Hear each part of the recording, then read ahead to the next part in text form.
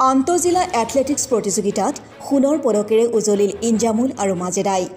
পাক মৌজাৰ ভক্তৰ ডুবালৈ গৌৰৱ কঢ়িয়ালে দুই ভাতৃ ভগ্নীয়ে বিছ বছৰ অনূৰ্ধ আঠশ মিটাৰ শাখাত সোণৰ পদক লাভ ইঞ্জামুলৰ ওঠৰ বছৰ অনূৰ্ধ সোণৰ পদক লাভ মাজেদাৰৰ।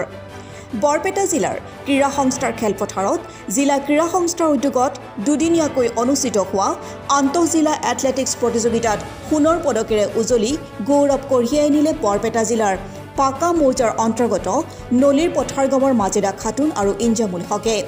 ভক্তৰূপৰ দেশভক্ত ক্লাব এণ্ড লাইব্ৰেৰী হৈ আন্তঃজিলা এথলেটিক্স প্ৰতিযোগিতাত অংশগ্ৰহণ কৰা ইঞ্জামুল হক আৰু মাজেদা খাতুন নলীৰ পথাৰৰ আয়েবালি আৰু বানেচা খাতুনৰ পুত্ৰ আৰু কন্যা।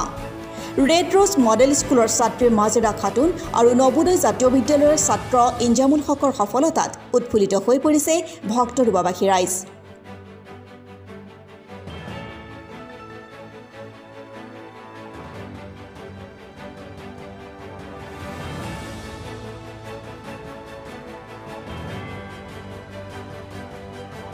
আন্তঃজিলা এথলেটিক্স প্ৰতিযোগিতাত সোণৰ পদকেৰে উজলিল ইঞ্জামুল আৰু মাজেদাই। পাক মৌজাৰ ভক্তৰ ডুবালৈ গৌৰৱ কঢ়িয়ালে দুই ভাতৃ ভগ্নীয়ে বিছ বছৰ অনূৰ্ধ আঠশ মিটাৰ শাখাত সোণৰ পদক লাভ ইঞ্জামুলৰ ওঠৰ বছৰ অনূৰ্ধ সোণৰ পদক লাভ মাজেদাৰৰ। বৰপেটা জিলাৰ ক্ৰীড়া সংস্থাৰ খেলপথাৰত জিলা ক্ৰীড়া সংস্থাৰ উদ্যোগত দুদিনীয়াকৈ অনুষ্ঠিত হোৱা আন্তঃজিলা এথলেটিক্স প্ৰতিযোগিতাত সোণৰ পদকেৰে উজলি গৌৰৱ কঢ়িয়াই নিলে বৰপেটা জিলাৰ পাকা মৌজাৰ অন্তৰ্গত নলীৰ পথাৰ গাঁৱৰ মাজেদা খাতুন আৰু ইঞ্জামুল হকে। ভক্তৰূপৰ দেশভক্ত ক্লাব এণ্ড লাইব্ৰেৰী হৈ আন্তঃজিলা এথলেটিক্স প্ৰতিযোগিতাত অংশগ্ৰহণ কৰা ইঞ্জামুল হক আৰু মাজেদা খাতুন নলীৰ পথাৰৰ আয়েবালি আৰু বানেচা খাতুনৰ পুত্ৰ আৰু কন্যা।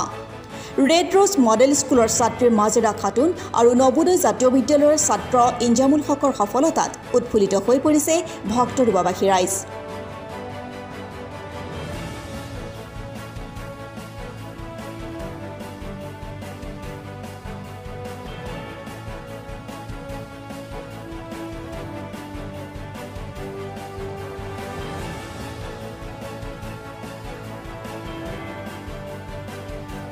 সৰ্থেবাৰীৰ পৰা ফাৰহাদ খানৰ report any time twenty four.